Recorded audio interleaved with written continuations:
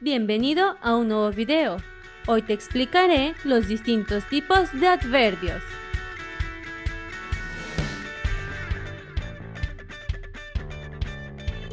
Primero veremos qué son los adverbios.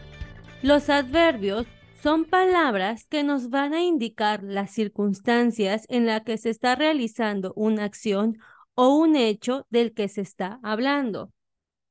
Los adverbios, como veremos más adelante, serán palabras que modifiquen el significado del verbo, del adjetivo o de otros adverbios, o incluso de oraciones enteras. Veamos cuáles son las características de los adverbios. La primera característica es que la función de los adverbios es modificar completar o matizar el significado de un verbo, un adjetivo o de otro adverbio. Te muestro unos ejemplos para aclarar esta característica.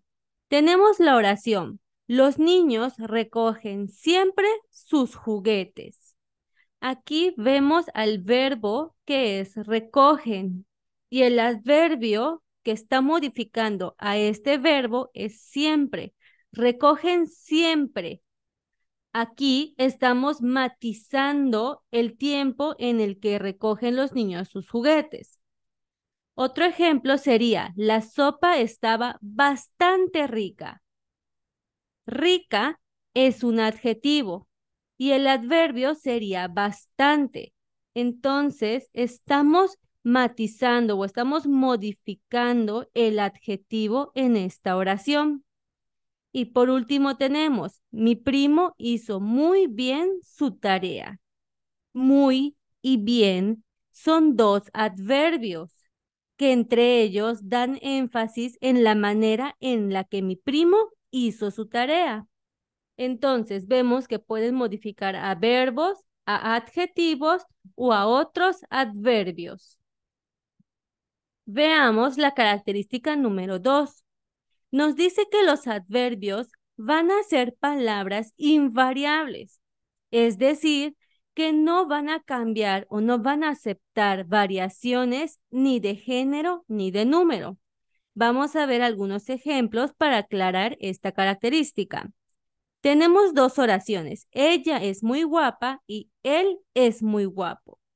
En la primera oración tenemos el adverbio que es muy y el adjetivo guapa. Estamos realzando que la persona es muy guapa.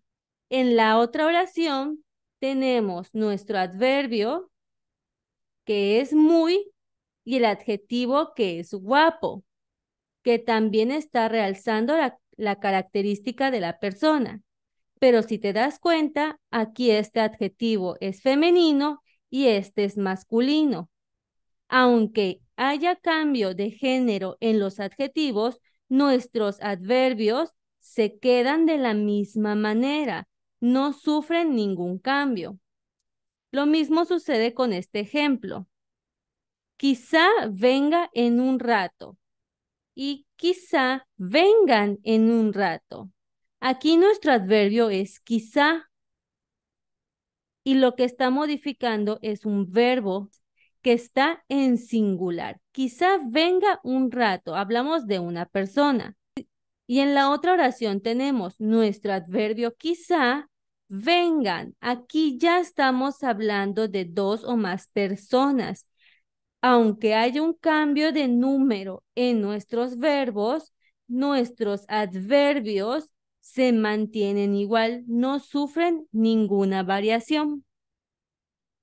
Ahora te mostraré la clasificación de los adverbios, es decir, todos los tipos de adverbios que existen. Comenzamos con el adverbio de modo. Estos adverbios nos van a expresar y nos van a dar detalles sobre la forma en la que está sucediendo una acción. Algunos ejemplos de adverbios de modo pueden ser estos estupendamente, deprisa, desenfrenadamente, adrede, fácilmente, solamente, entre otros. Vamos a ver algunos ejemplos de oraciones. Tenemos, Tienes que levantarte despacio para no marearte. Para encontrar un adverbio de modo en una oración, podemos hacer la pregunta, ¿cómo? ¿Cómo tengo que levantarme? Despacio. Y si te fijas, aquí el adverbio está modificando a un verbo. Otro ejemplo sería, el festival salió catastróficamente mal. ¿Cómo salió el festival? Catastróficamente mal.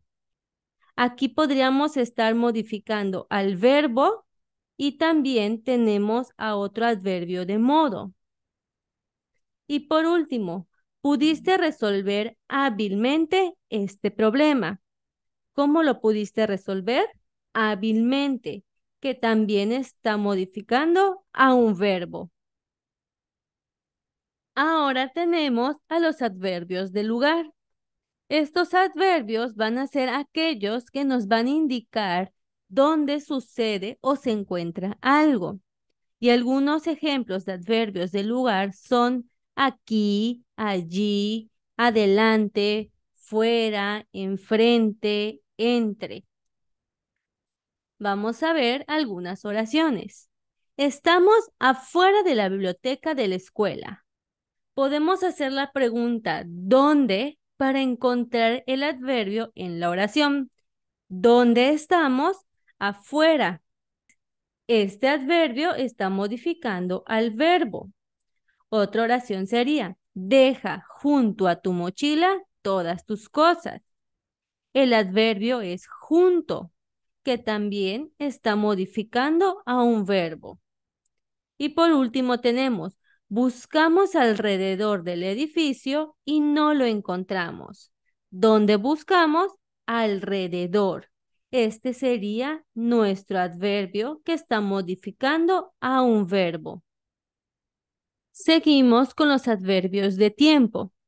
Estos adverbios van a ser aquellos que nos van a dar información sobre una situación cronológica concreta, o sea, en qué momento está pasando la situación.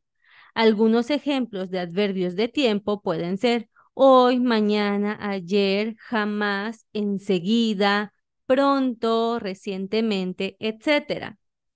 Veamos algunas oraciones.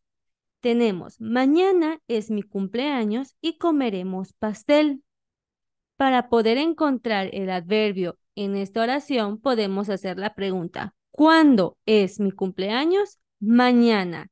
Este sería nuestro adverbio. Esta canción la escuché en la tarde con mis amigas. El adverbio sería tarde. Y por último, mi cantante favorito pronto dará conciertos en México. ¿Cuándo dará los conciertos? Pronto. Y aquí vemos que modifica a un verbo. Pasemos a los adverbios de cantidad. Estos adverbios nos van a expresar la magnitud o nos van a dar información cuantitativa en una oración. Algunos ejemplos de adverbios de cantidad pueden ser mucho, poco, casi, nada, todo, suficiente, etc. Algunos ejemplos de oraciones son, hay bastante gente haciendo fila para entrar al circo. ¿Cuánta gente hay? Bastante. Este sería nuestro adverbio. Creo que hoy ya comiste suficientes dulces. Suficientes sería el adverbio. Y por último, la comida estaba demasiado caliente. Demasiado es el adverbio y aquí vemos que está modificando a un adjetivo. También podemos encontrar adverbios de afirmación. Estos adverbios nos van a servir para confirmar y asegurar que alguien está de acuerdo con una información o que lo que estamos diciendo es correcto. Algunos ejemplos de adverbios de afirmación son claro, por supuesto, cierto, naturalmente, entre otros. Veamos algunas oraciones. Indudablemente, tienes que cambiar tu actitud. Indudablemente sería nuestro adverbio. Es cierto que mi equipo ganará el partido. Cierto sería nuestro adverbio. Y por último, te vi comer pastel de chocolate. Seguramente es tu favorito. Seguramente es nuestro adverbio. Y aquí vemos que estos tres están modificando a verbos. Y por la parte contraria, también tenemos a los adverbios de negación, que a diferencia de los anteriores, estos adverbios de negación nos van a servir para expresar que estamos en desacuerdo con algo o que hay algo incorrecto.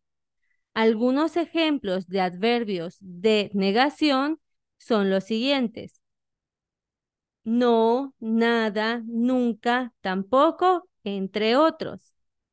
Veamos algunas oraciones. Yo creo que tampoco podré ir a la fiesta. Tampoco sería nuestro adverbio. Este año nadie ha llamado para felicitarme. Nadie es el adverbio. Y jamás iré a la casa de la persona que me habló mal. Jamás sería nuestro adverbio. Y también podemos ver que están modificando a verbos. También podemos encontrar a los adverbios de duda. Estas palabras las vamos a utilizar para expresar que hay una incertidumbre, indecisión o dilema dentro de la oración.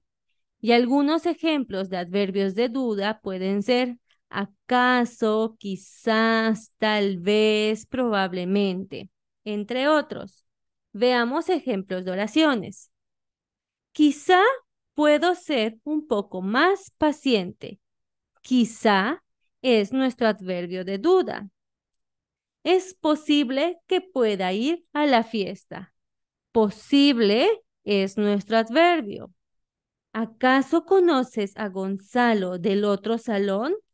¿Acaso sería el adverbio?